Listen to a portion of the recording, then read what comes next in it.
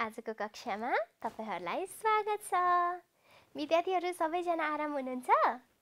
स्याबास मलाई पनि एकदमै ठिक छ। आज हामी के पढ्दैछौँ थाहा छ? है थाहा पाउनु भएको छ। के पढ्दैछौँ हेर्नुहोस् त एकपटक सेतो पाटीमा। अह हेर्दै हुनुहुन्छ कक्षा तिनको। हाम्रो विषय क्षेत्र रहेको छ हाम्रो वरपरको संसार। र आज हामी पाठ तेइसमा रहेको पौरखी कविता वाचन गर्न गइरहेका छौँ। त्योभन्दा अगाडि गुरुआमाले एउटा चित्र देखाउँछु। तपाईँहरू सबैजना चित्र हेर्न भनेपछि एकदम उत्साहित हुनुभएको छ है। हो नि? ल हेर्नुहोस् ल चित्र हेर्नुहोस् त तपाईँहरूको पाठ्य पुस्तक तपाईँहरूको कार्य पुस्तकमा पनि यो चित्र छ। देख्नुभयो चित्र? यहाँ माथि के भनिएको छ? एकपटक हेर्नुहोस् त। अह तल दिएको चित्र हेरी अनुमान गर्नुहोस् भनिएको रहेछ। अब तपाईँहरूले चित्र हेरेर मात्र भएन। चित्र हेरिसकेपछि के के बुझ्नुभयो यहाँ के भएको होला भनेर गुरुआमालाई थोरै भन्नु पर्यो हुन्छ? ल भन्नुहोस् त फटाफट यहाँ के गर्दै हुनुहुन्छ होला? अह दुईजना कहाँ जाँदै हुनुहुन्छ? स्याबास विद्यालय जाँदै हुनुहुन्छ। कसरी थाहा पाउनुभयो नि विद्यालय जानुभएको भनेर? मलाई त बजार जानुभएको जस्तो लाग्यो। होइन? साबास उहाँहरूले विद्यालयमा लगाइने पोसाक लगाउनु भएको रहेछ। अनि अरू के के देख्नुभयो नि? अह कति सुन्दर वातावरण रहेछ सफा रहेछ वरिपरि भनेर देख्नुभयो। त्यस्तै गरी दोस्रो चित्रमा के रहेछ? स्याबास बुवाले खन्दै हुनुहुन्छ। तपाईँहरू के बुबा होला है? अह हाम्रो बुबा जस्तै जस्तै हो भन्दै हुनुहुन्छ। त्यस्तै गरी यतापट्टि को हुनुहुन्छ होला? है? आमा हुनुहुन्छ भन्नुभयो बुबा र आमा त कति मिली मिली काम गर्नु हुँदो रहेछ है? तपाईँहरूको पनि बुबा आमा यस्तै गरी काम गर्नुहुन्छ? गर्नुहुन्छ भन्नुभयो सबैजनाको बुबा आमाले खेतीपातीमै मात्र त काम गर्नुहुन्न होला। है कतिजना भन्दै हुनुहुन्छ हाम्रो बुबा आमा त कार्यालयमा काम गर्नुहुन्छ। जागिरे हुनुहुन्छ भन्दै हुनुहुन्छ। ठिक छ पेसा फरक फरक हुन्छ नि सबैजनाको एउटै पेसा त हुँदैन। तर यहाँ चित्रमा जुन काम गर्दै हुनुहुन्छ यस्तो काम गर्ने मानिसलाई के भन्नुपर्छ होला? स्याबास भन्दै हुनुहुन्छ कृषक भनेर खेतीपाती गर्दै हुनुहुन्छ। अनि के रोप्दै हुनुहुन्छ कि घोड्दै हुनुहुन्छ कि के गर्नुभएको होला? गुरुआमाले त कहिले देखेकै थिएन यस्तो त भन्नुहोस् त। स्याबास धेरै विद्यार्थीले भन्दै हुनुहुन्छ हाम्रो आमाले पनि यस्तै गरेर तरकारी लगाउनुहुन्छ बुबाले पानी हाल्नुहुन्छ मिली मिली खेतीपाती गर्नुहुन्छ यो चाहिँ के रहेछ? स्याबास काउली हो भन्नुभयो। मलाई पनि हो कि हो कि जस्तो त लाग्यो यहाँ माथि सेतो सेतो फुल देखिएको छ। पक्कै पनि काउली हो। तपाईँहरूले गर्नुभएको अनुमान त मिल्यो। त्यस्तै गरी बुबाले अरू केही रोप्नको लागि खन्दै हुनुहुँदो रहेछ। अनि पछाडितिर चाहिँ के देख्नुभयो नि? स्याबास! रुखहरू देख्नुभयो। कस्तो सुन्दर वातावरण रहेछ है। नजिकै जङ्गल पनि रहेछ। खेतीपाती पनि गर्नुहुँदो रहेछ। मिली मिली काम गर्नुपर्छ भन्ने कुरा पनि हामीले यहाँबाट थाहा पायौँ। अनि जसले मेहनत गर्छ त्यसले खान पनि पाउँछ नि है? अल्छी गरियो भने खान पाइन्छ त? पाइँदैन। मेहनती मानिसले त धेरै खान पाउँछन्। गीत छ नि एउटा सुन्नुभएको छ? इलमीका हातमा माछा र मासु अल्छीका आँखामा आँसु भन्ने साना भाइ बहिनीहरूले गाउने गीत छ क्या? त्यस्तै यहाँ पनि मेहनत गर्ने इलम गर्ने मानिसको हातमा सधैँ मिठो मिठो हुन्छ। अल्छी मानिसको हातमा केही पनि हुँदैन भोकै पनि बस्नुपर्छ। त्यसैले मेहनत गर्नुपर्छ। विद्यार्थीको काम पढ्ने हो त्यस्तै गरी कृषकको काम खेतीपाती गर्ने हो भनेर तपाईँहरूले पनि भन्नुभयो गुरुआमाले पनि भने। अब धेरै बेर चित्रमा नअल्झिएर हामी मिठो कविता वाचन गर्छौँ। गुरुआमा सँगसँगै तपाईँहरूले पनि गाउनुहुन्छ हुन्छ? तयार हो? तयार हो? हामी पौरखी कविता गाउँदैछौँ यहाँ पनि देख्दै हुनुहुन्छ। अब पौरखी कवितालाई गुरुआमाले गाउनुभन्दा अगाडि तपाईँहरूले पनि गाइसक्नु भएको होला। कति धेरैजनाले अभ्यास गर्नुभयो होला। कस्तो मिठो लाग्यो होला कविता गाउँदा गाउँदै है? खानेकुरा मिठो भए जस्तै। कविता पनि कहिलेकाहीँ सुनाउ सुनाउ लाग्ने श्रुति मधुर सुनिरहँ जस्तो लाग्ने मिठो हुन्छ नि हो कि होइन? अब तपाईँहरू पनि गाउनुहोस्। गुरुआमाले गाएर सिकाउँछु। त्यसपछि गुरुआमा सँगसँगै पनि गाउने अनि तपाईँहरूले एक्लै पनि गाउनुपर्छ। हुन्छ? तयार हो? तयार हो।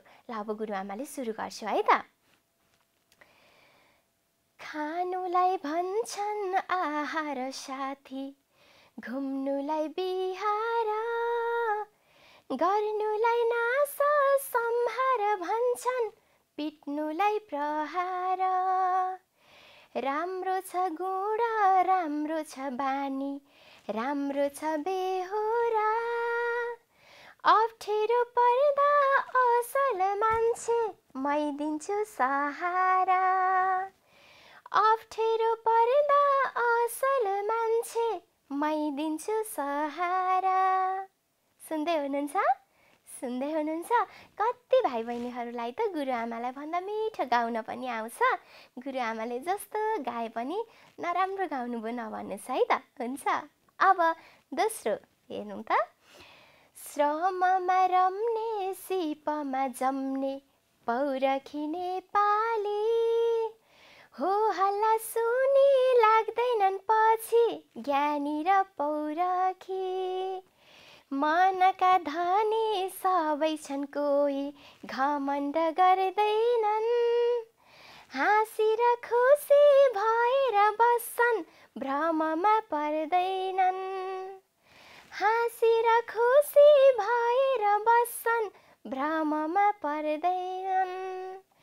बिहान उठे खेतमा जान्छन् जोसिला किसान पढेर लेखी घरमा आउँछन् तिनैका सन्तान। दिनभर कुदी घरैमा बसी बेकममा हुँदैनन्। चन्द्रमा उडी छुन्छुमा भन्छन् तिहार मान्दैनन्। चन्द्रमा उडी छुन्छुमा भन्छन् तिहार मान्दैनन्। हिँडाइ हेर्दा बाघको जस्तो हिराही सिंहको। सुनाइ चङ्ख कुकुरको जस्तो सुताई घोडाको। घुमाई व्यर्थ हुँदैन कहिले कोही छैन पराई। लेखाइ हेर्दा छापेका अक्षर क्या राम्रो पढाइ लेखाइ हेर्दा छापेका अक्षर क्या राम्रो पढाइ कस्तो राम्रो कविता। पक्कै पनि मिठो लाग्यो होला हो कि होइन? अब त चित्र झनै बुझ्नुभयो हेर्नुहोस् त। किसानका छोराछोरी मेहनत गर्छन् विद्यालय जान्छन् भन्ने यहाँ कवितामा पनि आएको छ। हेर्नुहोस् त यहाँ पढेर लेखी घरमा आउँछन् तिनैका सन्तान। किसानका छोराछोरी रहेछन्। बुझ्नुभयो? बुबा आमा यहाँनिर काम गर्दै हुनुहुँदो रहेछ छोराछोरी विद्यालयबाट फर्किँदै हुनुहुँदो रहेछ। अब पौरखी हुनुपर्छ मेहनती हुनुपर्छ मेहनत गर्ने मानिसले मात्रै पछि सफलता पाउँछ खुसी प्राप्त गर्न सक्छ भन्ने कुरा कविताबाट बुझ्नुभयो है? अब भाइ बहिनीहरूले गुरुआमा सँगसँगै गाउनुपर्छ। गुरुआमाले गाउँछु त्यसपछि तपाईँहरूले गाउने हुन्छ। तयार हो? कति चाँडो गाउँ गाउँ भन्दै हुनुहुन्छ। छिट्टो छिट्टो गाउन मन लागिसक्यो। अब सुरु गरौँ है त? खानुलाई भन्छन् आहार साथी। घुम्नुलाई बिहार। गर्नुलाई नास सम्हार भन्छन्। पिट्नुलाई प्रहार। राम्रो छ गुण राम्रो छ बानी। राम्रो छ बेहोरा। अप्ठ्यारो पर्दा असल मान्छे। मै दिन्छु सहारा। अप्ठ्यारो पर्दा असल मान्छे। मै दिन्छु सहारा। स्याबास कस्तो मिठोसँग सँगसँगै गाउनुभयो। अब तपाईँहरूमध्ये कसै एकजना? सबैजनाले भन्दा त समय पनि पुग्दैन। एकजनाले गाउनुहोस् है त हुन्छ? हुन्छ ल उठेर गाइदिनुहोस् न त यो। श्रममा रम्नेबाट भ्रममा पर्दैनन्सम्म गाइदिनुहोस् त मिठो लयमा। लगाउँदै हुनुहुन्छ है त गुरुआमाले सुनिरहेको छु लगाउँदै जानुहोस्।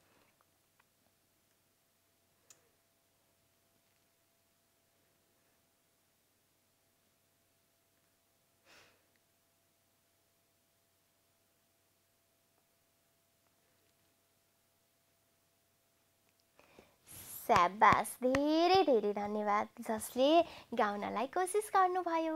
मलाई त मैले गाएको भन्दा पनि मिठो लाग्यो तपाईँहरूले गाउनु भएको यस्तै गरेर साथीलाई बुबा आमालाई विद्यालयमा गुरुलाई गुरुआमालाई सुनाउनुहोला। यो कविता लयमा गाउनुहोला।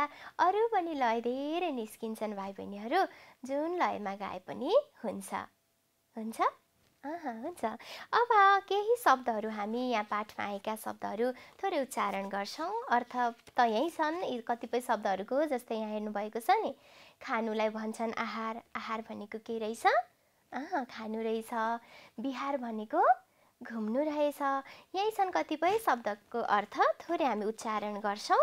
त्यसपछि अर्थ बुझ्नु भएन भने गुरुआमाले अर्थ पनि भन्छु है त। ल सेतो पाटीमा टाँसेर पनि देखाउँछु। एकचोटि उच्चारण गर्नुहोस् त। के रहेछ? स्याबास आहार भन्दै हुनुहुन्छ। आहार आहार भनेको के रहेछ त? स्याबास खानु रहेछ। त्यस्तै गरेर यो के होला भन्नुहोस् त? पढ्नुभयो पढ्नुभयो स्याबास बिहार हो। बिहार। त्यस्तै गरी यो पनि पढ्नुहोस् त। के रहेछ? साबा सम्हार भन्नुभयो। ठिक छ सम्हार। यो पनि पढ्नुहोस् त एकपटक के रहेछ? स्याबास ज्ञानी। यो पनि पढ्नुहोस्। स्याबास धनी भन्नुभयो। ज्ञानी धनी। यहाँ तपाईँहरूले शब्द हेर्दै गर्दा पढ्दै गर्दा हेर्नुहोस् त। जस्तै तपाईँहरूले आहार बिहार र सम्हार देख्नुभयो। आको पछाडि हार त्यस्तै गरी बिको पछाडि हार समको पछाडि हार शब्द आएको छ। तपाईँहरूले अब उच्चारण गर्दा यो हारलाई त हार नै भन्नुहुन्छ तर अगाडि आ आएपछि आहार हुँदो रहेछ। अनि त्यही हारको अगाडि फेरि बी थपियो भने बिहार हुँदो रहेछ। उच्चारण पनि फरक हुने रहेछ। अनि अर्थ पनि फरक हुने रहेछ। भर्खरै देख्नुभयो तपाईँहरूको कार्यपुस्तकमा पनि छ। आहार भनेको के थियो? स्याबास खानु थियो। बिहार भनेको अह घुमफिर गर्नु थियो। सम्हार भनेको स्याबास नाश गर्नु भनेर तपाईँहरूले आफ्नो पाठ्यपुस्तकमा देखिसक्नु भएको छ। त्यसैले हामीले शब्दहरू फरक फरक आएपछि अर्थ पनि फरक हुँदो रहेछ। तर सुन्दा चाहिँ उस्तै उस्तै लाग्ने शब्द छन्। यिनीहरूको बनोट थोरै उस्तै देखिए पनि अर्थ चाहिँ फरक छ। त्यस्तै गरी यहाँ पनि ज्ञानी धनी देख्नु भएको छ। पछाडि चाहिँ नि नि दोहोरिएको छ। तर अगाडि ग्या छ अनि अगाडि ध छ।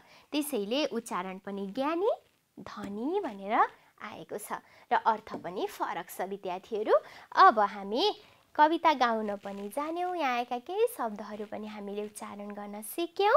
अब अर्को क्रियाकलापतर्फ लाग्छौँ हुन्छ? तयार हुनुहुन्छ? स्याबास अब हेर्नुहोस् त चित्रमा के भइरहेको छ? अनुमान गर्नुहोस् भनिएको छ। तपाईँहरूको कार्यपुस्तकमा पनि दिएको छ। पल्टाउँदै हुनुहुन्छ। हेर्नुहोस् त त्यहाँनिर यस्तै चित्र छ कि छैन? स्याबास यस्तै चित्र छ। अब यो चित्रले के भन्न खोजेको होला? गुरुआमाले के पनि बुझिनला भनिदिनुहोस् त। के भन्न खोजेको होला? भन्दै हुनुहुन्छ। तराईतिर जस्तो छ कति धेरै घरहरू पनि छन्। सबैजना मिलेर बस्नु भएको छ भन्दै हुनुहुन्छ। कतिवटा घर रहेछन् गर्नुहोस् त। स्याबास भन्दै हुनुहुन्छ एउटा दुईवटा तिनवटा चारवटा पाँचवटा। यो पनि हो कि क्या हो? होइन? यसलाई चाहिँ के भनिन्छ त? अह यहाँ भैँसी छ यो गोठो भन्नुभयो। कस्तो बाठो हुनुहुँदो रहेछ हो नि? धन्न गुरुआमाले यसलाई घर भनेको नि है? गोठो भैँसी देख्नुभयो गोठ रहेछ। अनि जम्मा पाँचवटा घर यहाँ देखिएका छन्। अरू पनि घरहरू छन् तर यहाँ चित्रमा चाहिँ हामीले पाँचवटा घर देख्यौँ। अरू के के देख्नुभयो भन्दै जानुहोस् त यो के होला?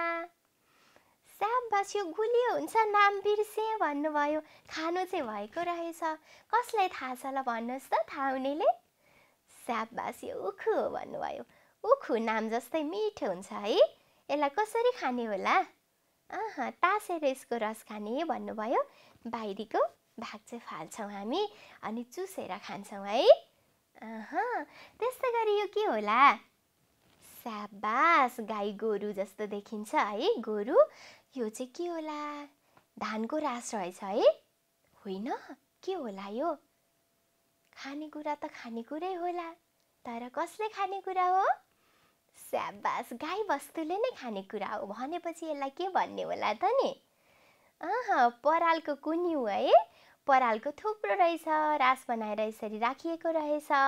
त्यस्तै गरेर यो के होला? के को बिरुवा होला? फुल हो कि क्या हो? होइन के हो भन्नुहोस् त? यो तरकारी हो। यो तरकारीको नाम चाहिँ के होला? स्याबास बन्दा काउली केही हुन सक्छ भन्ने हुनुहुन्छ। तपाईँहरूले गर्नुभएको अनुमान मिलेको छ। तरकारी बन्दा काउली केही हो। त्यस्तै गरी यहाँ भएको चाहिँ यसलाई के भनिन्छ होला? अह कल भनिन्छ भन्दै हुनुहुन्छ। यो कल देखेर पनि धेरै विद्यार्थीहरूले अनुमान गर्नुभयो कि यो तराईमा हो भनेर धेरै जस्तो कलहरू चाहिँ तराईतिर हुन्छ। पहाडमा त ढुङ्गे धारा हुन्छ पाइपबाट पानी ल्याइएको हुन्छ है नाला भन्छौँ हामी नालाबाट पानी ल्याइएको हुन्छ तर तराईतिर चाहिँ यस्तो कल हुन्छ इनारहरू हुन्छन्। त्यस्तै उहाँ चाहिँ के गर्दै हुनुहुँदो रहेछ? केही कुरा धुँदै हुनुहुन्छ जस्तो छ है। तरकारी पखाल्दै हुनुहुन्छ कि? साग टिपेर ल्याउनु भएको हो कि? है। त्यस्तै गरी आमाले के गर्दै हुनुहुन्छ? कुखुरालाई दाना पानी दिँदै हुनुहुन्छ चारो दिँदै हुनुहुन्छ। अनि यो के होला? है ठेला गाडा जस्तो छ है। तरकारी बेच्ने हो कि? केटाकेटी खेल्ने हो कि? है? अँ धेरैजनाले अर्को पनि कल देख्नुभयो। त्यसपछि यसलाई के भनिन्छ? स्याबास बाख्रा पनि रहेछन्। अनि यो चाहिँ के को बोट होला नि विद्यार्थीहरू भन्नुहोस् त। गुरुआमा त तराई गएकै छैन त्यही भएर थाहै छैन भनिदिनुहोस् त। स्याबास नरिवलको बोटो नरिवल त खानुभएको होला नि भन्नुभयो मलाई नि तपाईँहरूले है। नरिवल खाएकी छु। बोट चाहिँ आज बल्ल देखेँ हेर्नुहोस् त नरिवलको बोट रहेछ।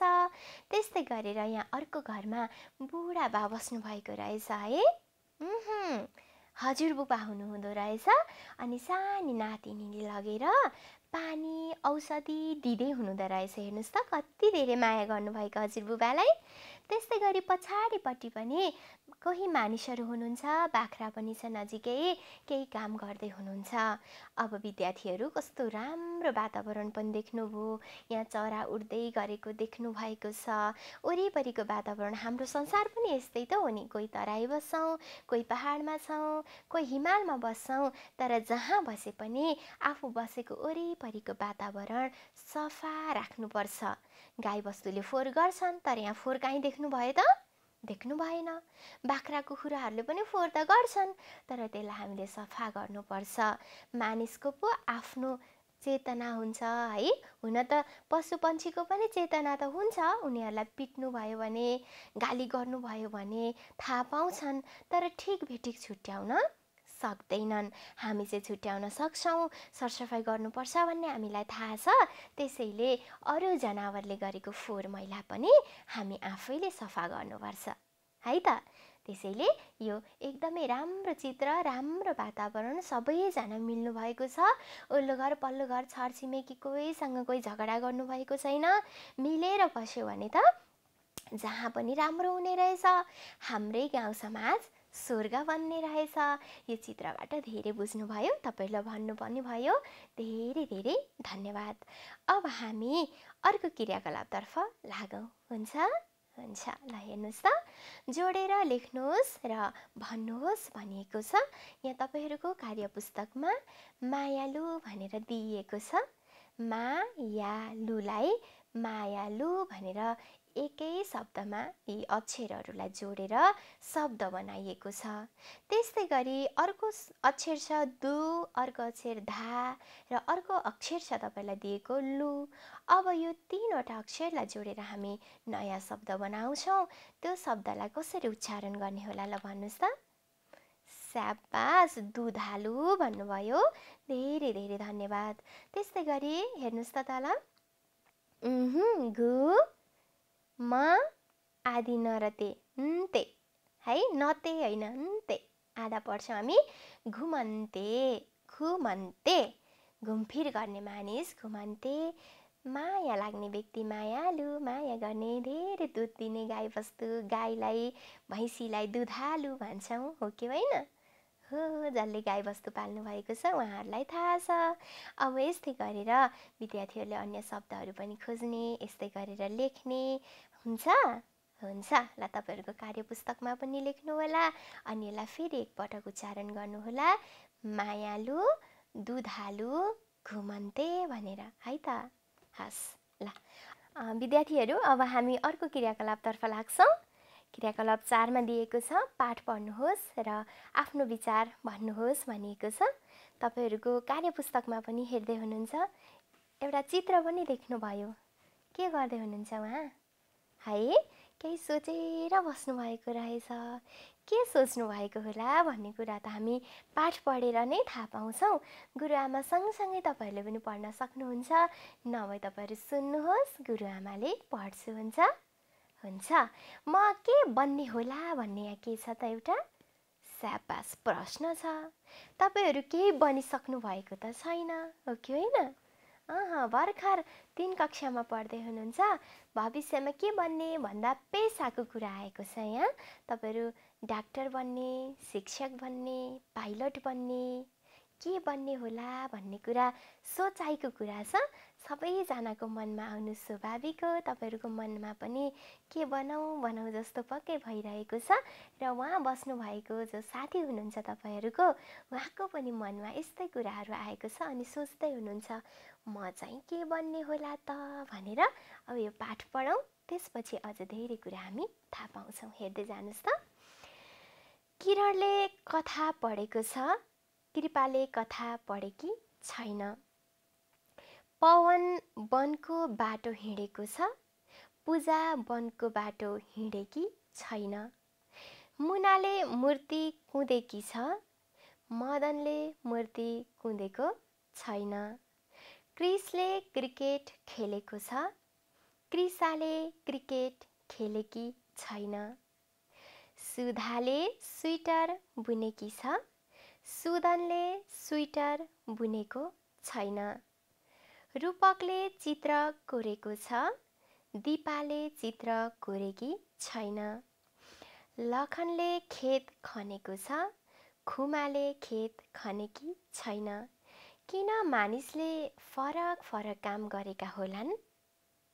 फुपूलाई डाक्टर बन्न मन छ दाजु शिक्षक बन्छु भन्नुहुन्छ काका म त किसान हुन्छु भन्नुहुन्छ दिदी मन्त्री भन्ने रे हरेक मानिसका फरक रुचि हुँदा रहेछन्। म पो के भन्ने होला? अब थाहा पाउनुभयो उहाँले किन यस्तो गर्नुभएको रहेछ? स्याबास म चाहिँ के बन्ने होला भनेर सोचिरहनु भएको रहेछ दोधारमा पर्नु भएछ। बन्नको लागि त समय छ तर अहिलेदेखि नै सोच्नुपर्छ त्यही अनुसार अभ्यास पनि गर्दै जानुपर्छ हो कि होइन? हो भन्दै हुनुहुन्छ।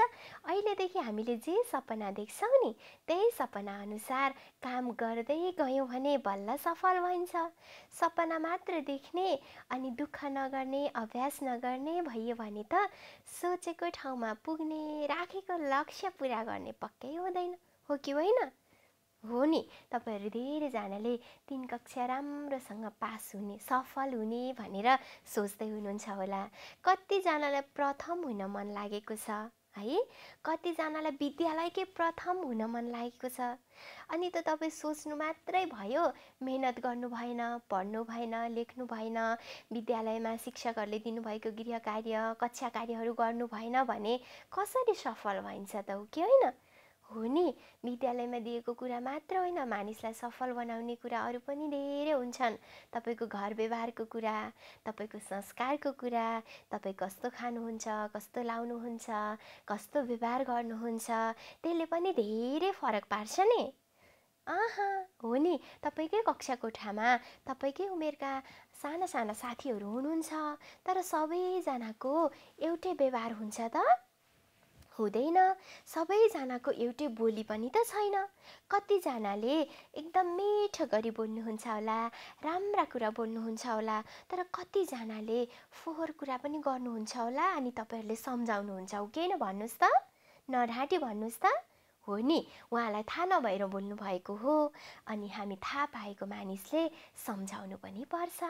घर परिवारमा आउनुभएका आफन्तहरूलाई सत्कार गर्ने कुरा आफूभन्दा ठुलो मानिसलाई सम्मान गर्ने आदर गर्ने साना भाइ बहिनीहरूलाई माया गर्ने यी कुराले पनि हामी भविष्यमा कस्तो बन्छौँ भन्ने कुरासँग जोड्दै लान्छ। त्यसैले पढ्नु मात्रै ठुलो कुरा होइन व्यवहारको कुरा पनि हो। तर व्यवहार मात्र राम्रो भएर पनि हुँदैन पढाइ पनि राम्रो हुनुपर्छ दुवै कुरालाई सँगसँगै लानुपर्छ। अब यहाँ पाठमा पनि तपाईँले थाहा पाइसक्नुभयो कतिजनालाई कथा पढ्ने रहर रहेछ कतिजनालाई हिँडडुल हिँडडुल गर्ने रहर रहेछ कतिजनालाई मूर्ति बनाउन आउँदो रहेछ त्यस्तै कतिजनालाई खेलकुदसँग रुचि राख्नु हुनु हुँदो रहेछ कतिजनाले। कतिजनाले हातले स्वेटर पनि बुन्नु हुँदो रहेछ हेर्नुहोस् त स्वेटर बुन्नु हुँदो रहेछ। कतिजनाले चित्र गर्नु हुँदो रहेछ। कतिजना कृषिसँग सम्बन्धित काम गर्नु हुँदो रहेछ। सबैजनालाई एउटै रुचि पक्कै पनि छैन हुँदैन पनि। घर परिवारमै जन्मिनु भएको दाई दिदी बहिनी सबैजनाको एउटै त हुँदैन। दाजुले एउटा काम गर्नुहुन्छ छुट्टै रुचि राख्नुहुन्छ दिदीले अर्कै गर्नुहुन्छ। तपाईँको रुचि अर्कै होला तर खराब रुचि राख्नु चाहिँ भएन। सही रुचि राखेर राम्रोसँग काम गर्नुभयो भने सफल भइन्छ। त्यस्तै तपाईँलाई जस्तै मैले पनि मेरो विद्यालयमा विभिन्न विद्यार्थी भाइ बहिनीहरूलाई सोधेकी थिएँ। तपाईँहरूलाई के बन्न मन छ भनेर अनि उहाँहरूले भन्नुहुन्थ्यो कि के भन्नुभएको थियो भने एकजना चाहिँ सानी बहिनीले भन्नुभयो तिन कक्षामा पढ्ने। मलाई चाहिँ शिक्षक बन्न मन छ भन्नुभयो कि। मनमा नै खुसी पनि लाग्यो। ओहो म जस्तै शिक्षक बन्नुहुने रहेछ भनेर अनि किन शिक्षक बन्न मन लागेको नि भनेर सोधेँ। अनि उहाँले भन्दै हुनुहुन्थ्यो मलाई चाहिँ धेरैजना जो पढाइ लेखाइबाट वञ्चित हुनुभएको भाइ बहिनीहरू हुनुहुन्छ उहाँहरूलाई राम्रा राम्रा कुरा सिकाएर असल मानिस बनाएर शिक्षित मानिस बनाएर देश विकास गर्नलाई अगाडि बढाउन मन छ भन्नुभयो। कति धेरै खुसी लाग्यो। धेरै भाइ बहिनीहरू डाक्टर बन्ने पाइलट बन्ने मात्र भन्नुहुन्छ। कोही कोहीले त शिक्षक पनि भन्नुहुँदो रहेछ भनेर खुसी लाग्यो। अनि अर्कोजना एकजना बाबुले भन्नुभएको थियो मलाई चाहिँ हवाईजहाज उडाउन मन छ भन्नुभयो। अनि किन मन लागेको होला भनेको? अनि उहाँलाई चाहिँ त्यो चरा जस्तै उड्ने हवाईजहाज कसरी उडाउने होला भनेर एकदमै मनमा आइराख्यो अरे। अनि त्यो उडाएको देख्नु भएछ नजिकै कतैबाट। अनि त्यो हेरेपछि चाहिँ ओहो भविष्यमा म पनि यस्तै हवाईजहाज उडाउने हुन्छु भनेर सोच्नु भएको रहेछ। धेरै मानिसहरूलाई चाँडै गन्तव्यमा पुर्याउँछु राम्रोसँग हवाईजहाज चलाउने पाइलट हुन्छु भन्नुभएछ। भन्नुभएको थियो।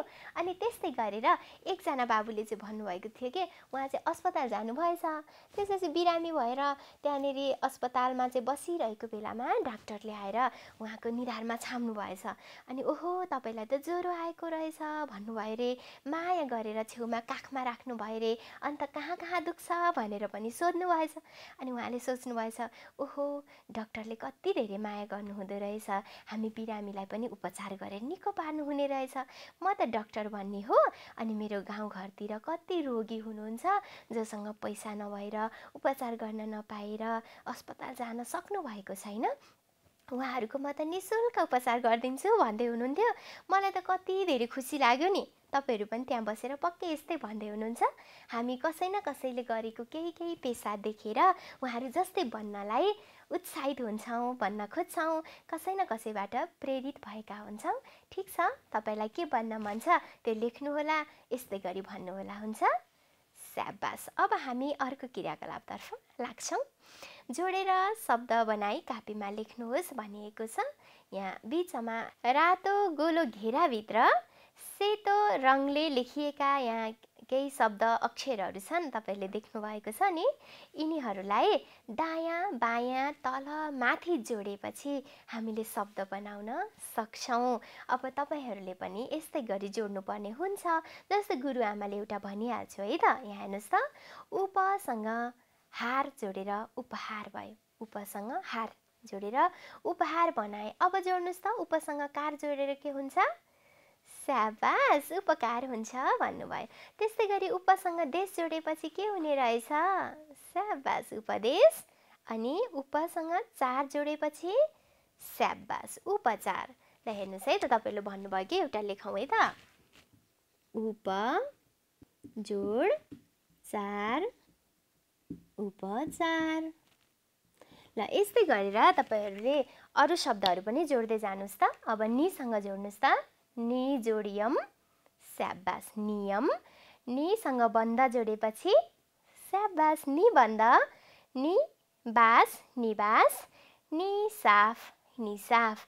भाइ बहिनीहरू यहाँ फेरि गुरुआमाले वलाई ब भन्नुभयो भनेर दोधारमा नपर्नु होला कतिपय शब्दहरू हामी व लेख्छौँ। उच्चारण ब गर्छौँ जस्तै वातावरण भन्दा हामी व लेख्छौँ तर ब उच्चारण गर्छौँ। अब यी शब्दलाई गुरुआमाले यहाँ देखाउँछु है त हेर्नुहोस् त। उपहार उपकार उपदेश उपचार तपाईँहरूले भन्नुभएको शब्दहरू। त्यस्तै गरेर निबन्ध नियम निवास निसाफ भनेर यी शब्दहरू दिएका छन्। विद्यार्थीहरूले यस्तै गरी आफ्नो कार्यपुस्तकमा र उत्तर पुस्तिकामा लेख्नुहोला अनि यसरी हामीले एउटै उपमा हार कार देश चार जोडेर यति धेरै शब्द बनाउन सक्यौँ र यी सबै शब्दको फेरि अर्थ फरक छ नि। उपहार कोसेली है? उपकार भलाइ गर्ने काम।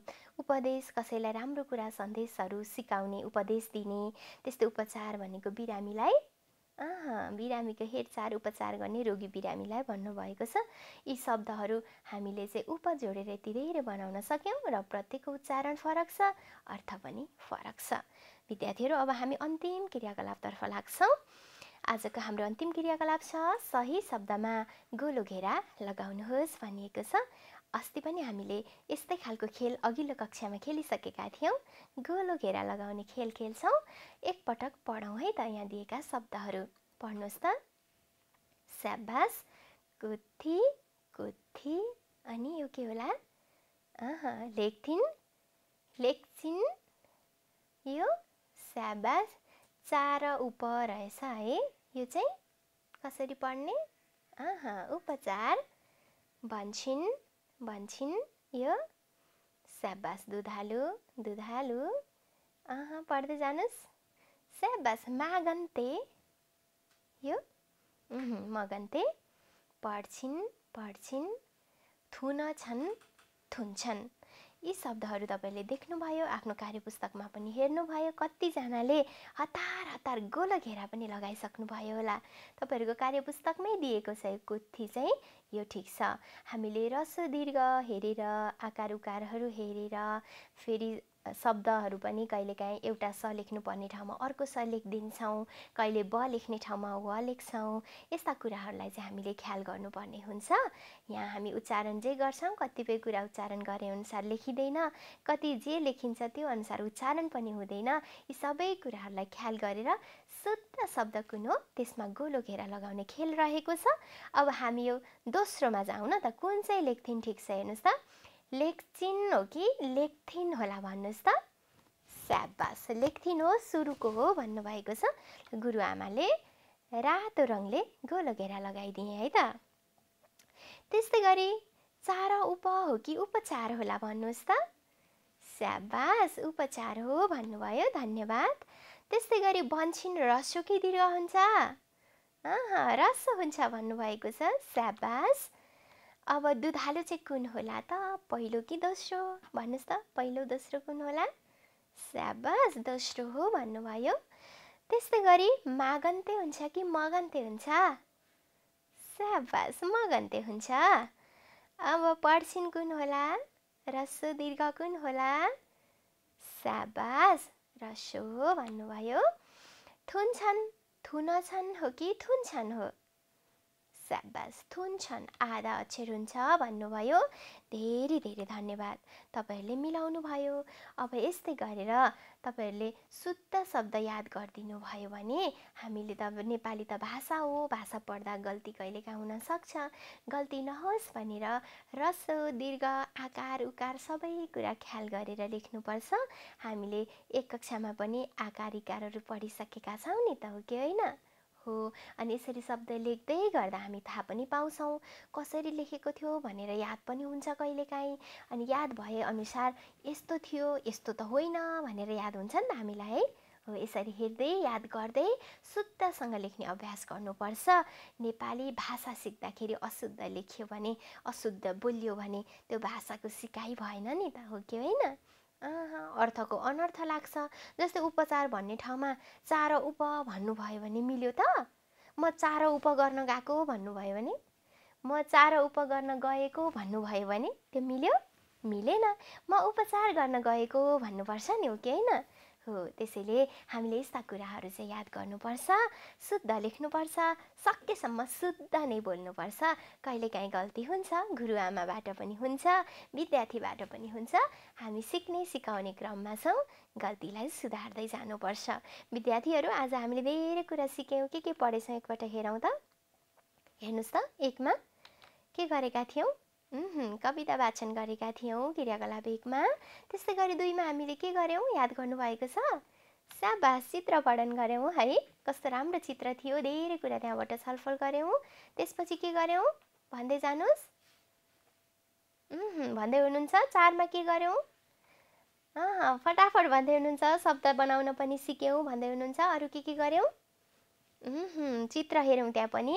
त्यस्तै गरी भविष्यमा के बन्ने भन्ने कुरा पनि याद गऱ्यौँ। अनि अन्त्यमा फेरि हामीले यस्तै गरेर शुद्ध शब्द छान्ने खेल खेल्यौँ। र तपाईँहरूले पनि खेल्नुभयो यस्तै गरी गोलो घेरा पनि लगाउनु भयो होला। गुरुआमाले भने अनुसार नै गर्नुभयो। कविताको वाचन चाहिँ तपाईँले आफ्नै तरिकाले गर्न सक्नुहुन्छ। मिठो लयमा गाएर सुनाउनु होला। भोलि पर्सि गुरुआमालाई पनि सुनाउनु होला हुन्छ। हुन्छ। आज सबैजना एकदमै ज्ञानी भएर गुरुआमासँगै बस्नुभयो। यत्रो बेर पढ्नुभयो केही कुरा पक्कै सिक्नु भएको छ। यो कुरालाई अभ्यास गर्दै जानुहोला। अब बाँकी भएका अभ्यास हामी अर्को कक्षामा लिनेछौँ भेट्नेछौँ भन्दै आजलाई छुट्छु है त। हुन्छ? हस् त नमस्ते।